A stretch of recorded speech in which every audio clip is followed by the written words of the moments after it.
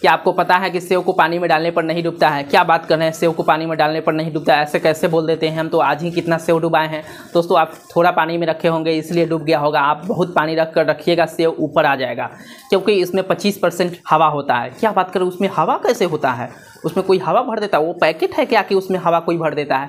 दोस्तों, उसमें 25 परसेंट हवा होता है और सेव का घनत्व, पानी के घनत्व से बहुत कम होता है। इसलिए वो नहीं डूबता है पानी में।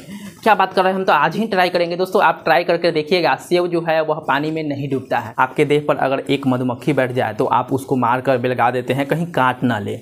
अगर दोस्तों कहें कि मधुमक्खी से खेलना है, क्या आप राज़ी होंगे? अगर गलती से अगर एक मधुमक्खी काट ले तो वहाँ पे सिहरना पैदा हो जाता है और जहाँ पे करता है, वहाँ पे फूल जाता है और गलती से अगर कोई ऐसी जगह काट लेता है तो घर से बाहर भी नहीं निकलते हैं।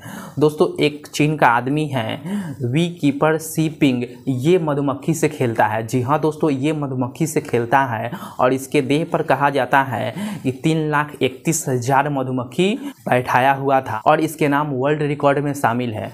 इसका देह देखने से ऐसा लगता है कि इसका देह एक भी खाली नहीं है, जहाँ पे मधुमक्खी न बैठा हो। तो है ना कमाल की जानकारी? तो फटाफट इस वीडियो को शेयर कर दीजिए और ये बताइए कमेंट में कि क्या आपको भी मधुमक्खी काट यात्रीगण कृपया ध्यान दें रेलवे ने अपने यात्रियों के लिए छोटी छोटी परेशानियों को छोटी छोटी दिक्कतों का ये हर संभव प्रयास करती दोस्तों, रेलवे ने इस बार अपने यात्रियों के लिए शानदार सफ़र के लिए शानदार सर्विस सेवा उपलब्ध की है। रेलवे ने अपने यात्रियों के लिए अलाम नाम की सर्विस सेवा उपलब्ध कराई है। इससे ये आपको फ़ायदा होगा। कई बार होता है कि ट्रेन में आप सोए ही रह जाते हैं, नींद नहीं खुलती है और आपका स्टेशन पीछे निकल जाता है और आप आगे चल जाते हैं। इस अलार्म सेवा से आपको ये फ़ायदा होगा कि आपका स्टेशन आने से 20 मिनट पहले आपको जगा दिया जाएगा। रेलवे के नोटिफिकेशन के द्वारा आपको जगा दिया जाएगा कि आपका स्टेशन आ गया। आप जग जाएँ।